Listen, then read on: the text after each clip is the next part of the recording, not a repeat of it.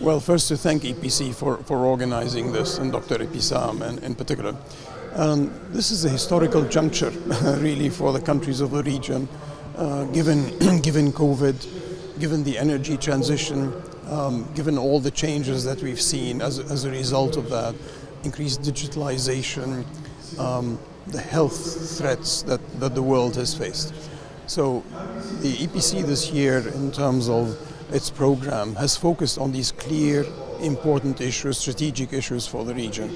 So I applaud you. I applaud you for that. And you've also brought together uh, eminent speakers and thinkers on, on the topic. So I think some important lessons uh, moving forward, hopefully, uh, coming from this uh, conference. The subject of digital divide that was mentioned very extensively Yes. on the subject, and uh, and the decoupling that I think when we talk about the decoupling, I think it's in process.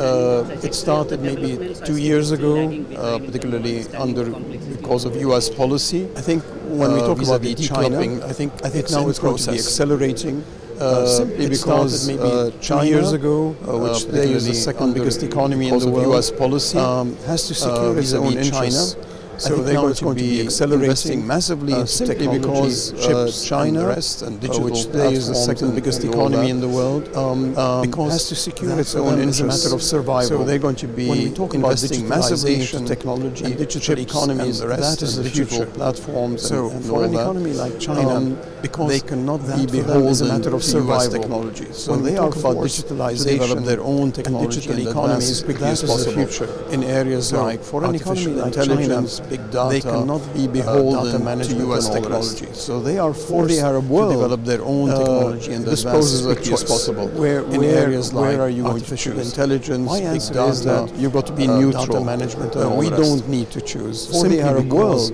we uh, don't know this poses uh, a what choice. technology Where- is going where- to be bringing in the next few years. My answer Uh, is that AI is you've got to be changing many things, the way we Uh, do we business, don't the way we live, the simply way we work. We and don't know uh, uh, we should not marry ourselves to be bringing in the next few source years. of technology. Uh, we need AI is changing many things, we the way we do business, the way we live, the way we work. And therefore, uh, we should not marry ourselves to just one source of technology. We need to be much more open. We need Yes, to I mean historically, of course, the GCC countries and oil producers have been pegged to the U.S. dollar, uh, simply because the United States and Europe were the main our, our main export markets. So it made sense really to peg ourselves to the U.S. dollar. That's no longer the case today because our main trade partners are in Asia and in particular China. That means that yes, I mean historically, of course, pegging the GCC countries means we have no monetary policy to the US dollar. independence. We need Uh, to think, in my view, of United currency basket Europe where the main include the dollar, main export the euro. So it but made include sense really importantly ourselves to the the US dollar. Chinese yuan. That's no longer And the of case course, today because our main trade an implication, means are in that Asia we need to increase our linkages to Chinese banks and financial institutions. Instead of Pegging to the US dollar, the which means yuan, we have no monetary policy is not yet an we need to think, reserve currency, of a currency basket it will be where you include Uh, the dollar, you on the include scale the of the euro, States, but you include importantly to change. the Chinese yuan.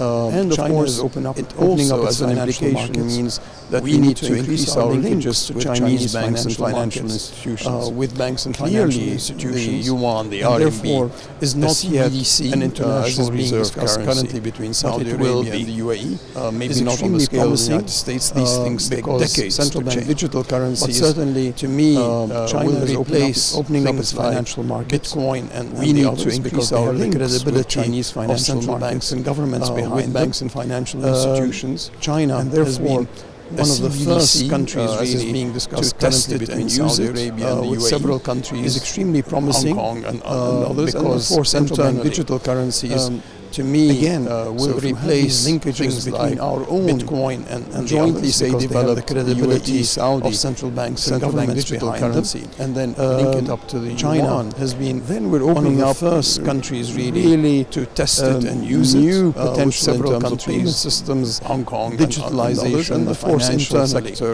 and, um, and the like. So again, very so if promising these things in the linkages between our own Thank you. Thank you. Jointly, say, developed UAE Saudi central bank digital currency and then link it up to